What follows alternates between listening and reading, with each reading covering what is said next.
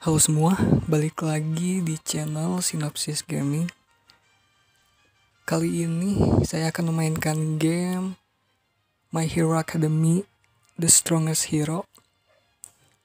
Yang game ini baru aja rilis akses CBT-nya tadi jam 10 siang.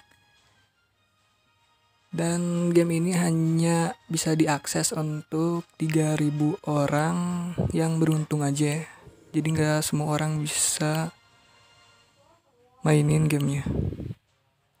Di sini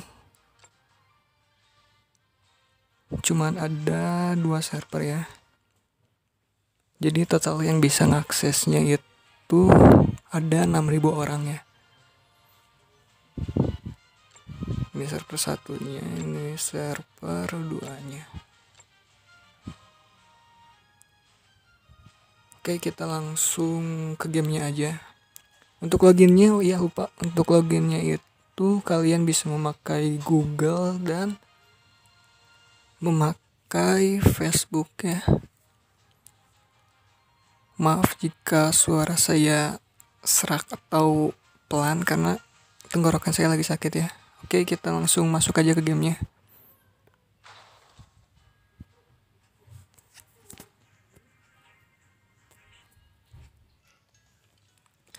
Oke, akhirnya masuk juga ke gamenya. Mungkin ini awal-awal tutorialnya dulu ya. Oke, kita langsung coba aja. Oke. Kok, kok lambat ya?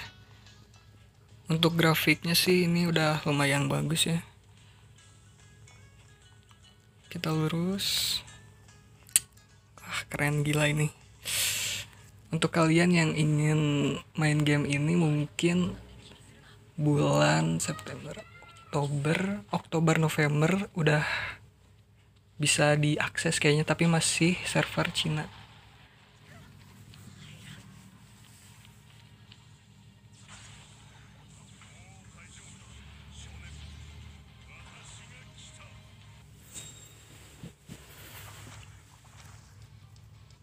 Ini tutorialnya kita di sini pakai si One for All ya.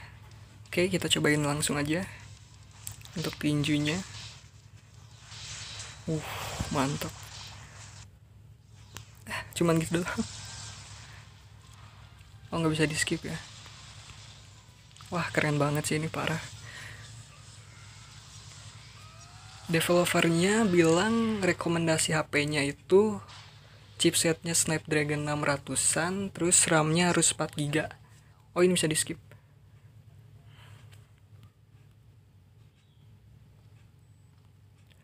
dan untuk penyimpanannya kalian harus memberikan space penyimpanannya 6 GB karena total aplikasinya ini sama datanya semuanya jadi 5 GB oke kita langsung maju aja di sini saya memakai HP dengan RAM 3 GB dan memakai chipset Snapdragon 400-an ya. Dan overall lancar ya untuk main gamenya. Kita skip aja.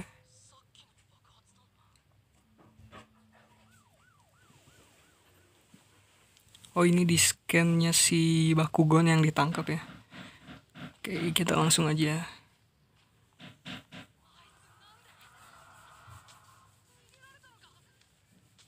Nggak bisa di skip ya.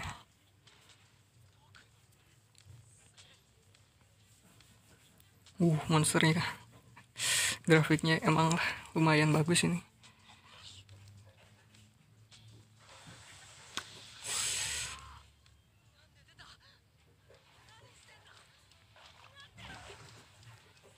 Oh ini ada klikannya. Perfect ternyata.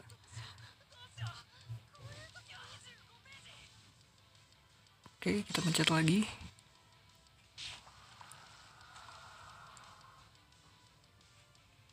Wah di sini kita bertarung lagi guys. Pakai si Deku. Oke kita hindarin aja yang merahnya. Oh ada dashnya guys okay. gampang banget ternyata oh ini diklik ih keren banget sumpah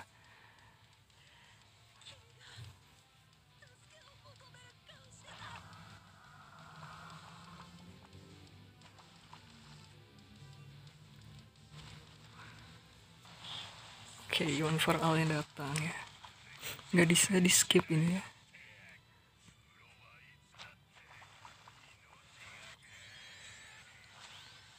Wih.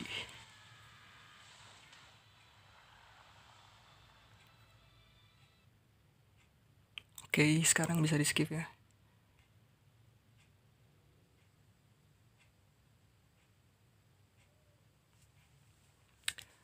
untuk gamenya ini udah bagus ya RAM 3 GB chipsetnya Snapdragon 400an lancar main gamenya. Walau pihak developernya merekomendasikan chipset Snapdragon 600 dan RAM nah RAM-nya 4 GB ya merekomendasikannya tapi ini RAM 3 GB lancar-lancar aja. Oke kita langsung aja. Skip skip wah lama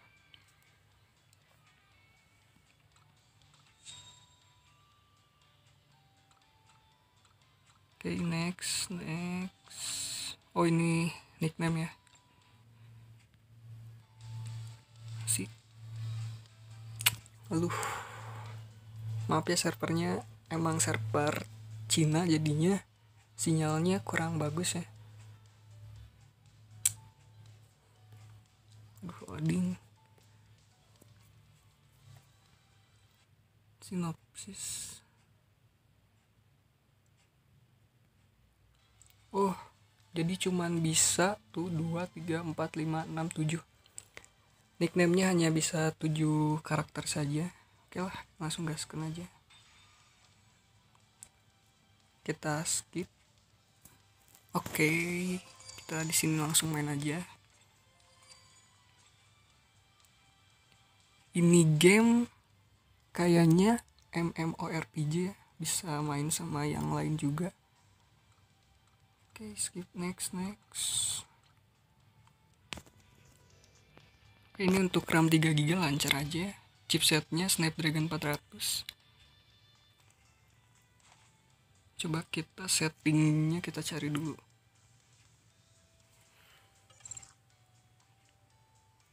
Ini di pojok atas ya.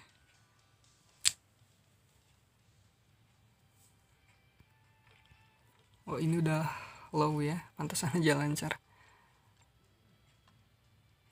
coba kita di medium apakah masih lag atau tidak oh ini buat 2D ini untuk 3D nya ya coba medium oke okay.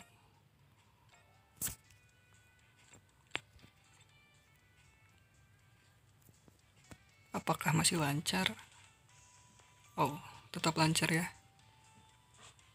Untuk akses CBT ini hanya diperuntukkan untuk 3000 orang ya. Jadi bagi kalian yang nggak ikut akses CBT atau nggak pernah daftar, nggak akan bisa. Oke kita langsung ke misinya aja.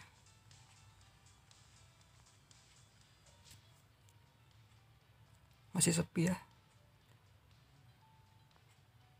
Untuk main game ini nggak usah pakai VPN langsung aja. Tapi untuk download datanya kalian perlu VPN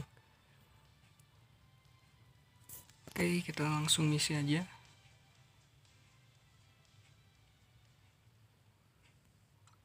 Next. Oh di sini kita lawan penjahatnya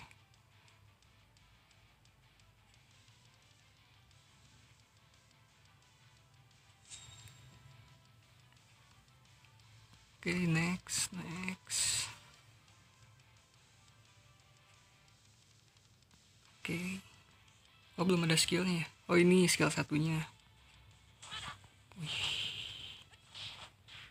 Wah bisa combo guys. Wah patah-patah ternyata medium. Oke langsung skip aja.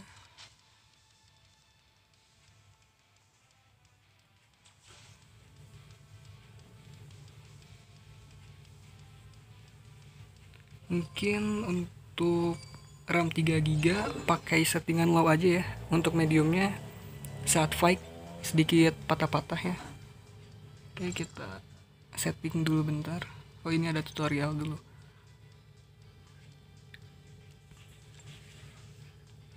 Apa ini? Oh gacha gacha karakter.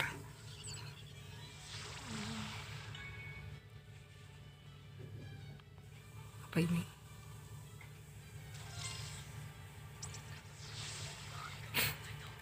dapat Midoriya lagi ngapain coba?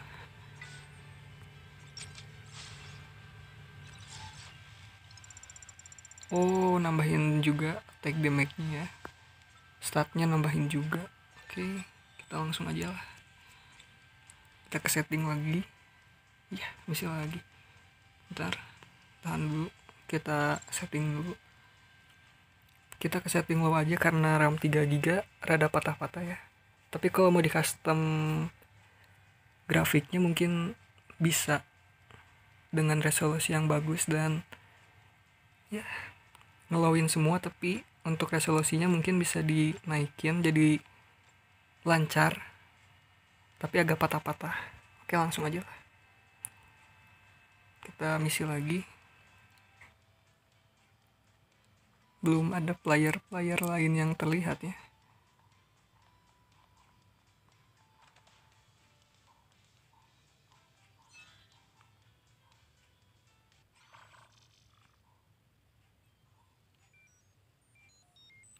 kita aktifin aja checkpoint.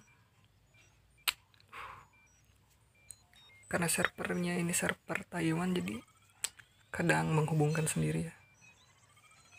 Oke, kita skip aja.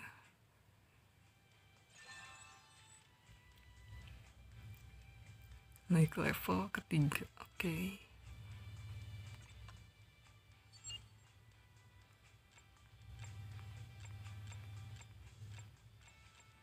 Oke oke.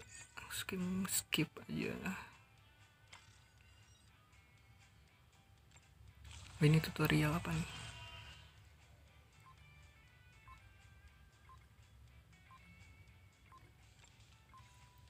Oke kita ikutin dulu aja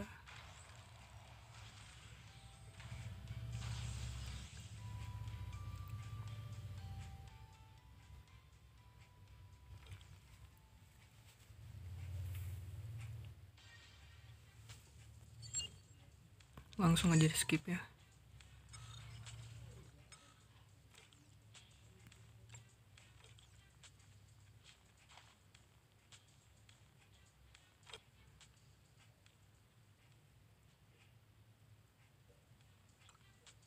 Oh, kita akan melawan musuh ya. Langsung skip aja biar cepat ya.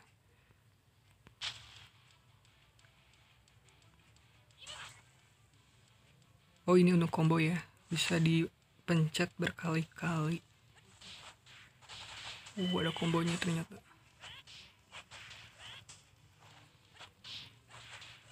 Wah gila keren banget ini. Parah.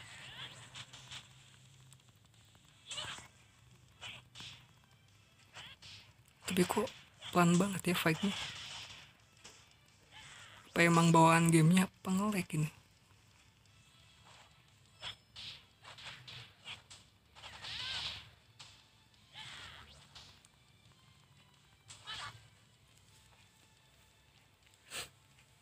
untuk fightnya ini slow banget. Nggak tahu ini emang dari gamenya nggak tahu karena sinyalnya gitu. Soalnya dari tadi patah-patah.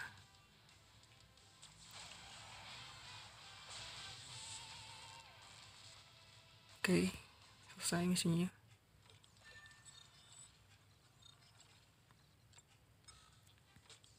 Kita next lagi lanjut lagi stake-nya Kayaknya ini lawan bosnya deh. Oh belum. Wah menghubungkan terus ya. Oke langsung aja. Hmm.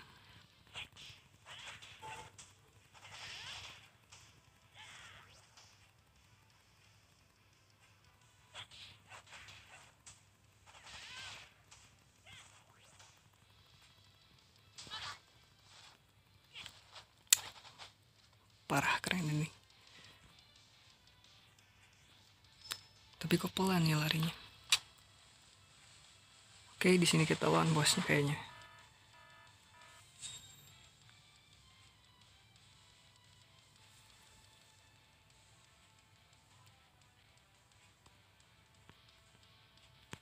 Skillnya baru satu ya. Oh, kita ngedes ya, menghindari serangan musuhnya.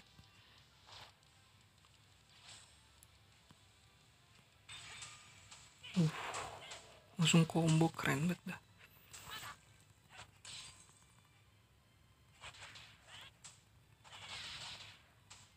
Skillnya baru satu ya, gak nambah-nambah dari tadi.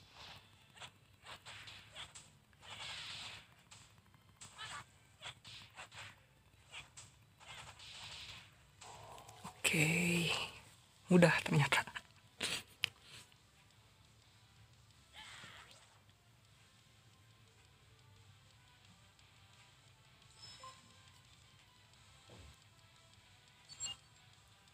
Langsung skip aja.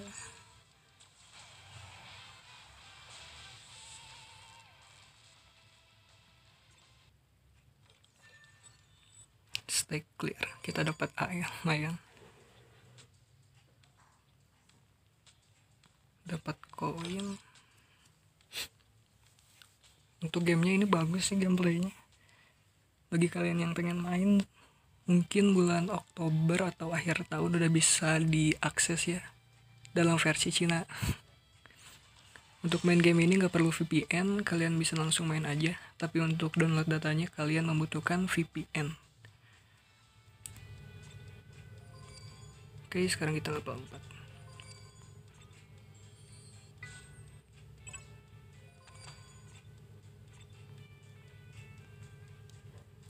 Oke, segitu dulu dari saya. Jika kalian menyukai video ini, kalian bisa like. Dan jangan lupa subscribe dan share. Oke, terima kasih. See you again.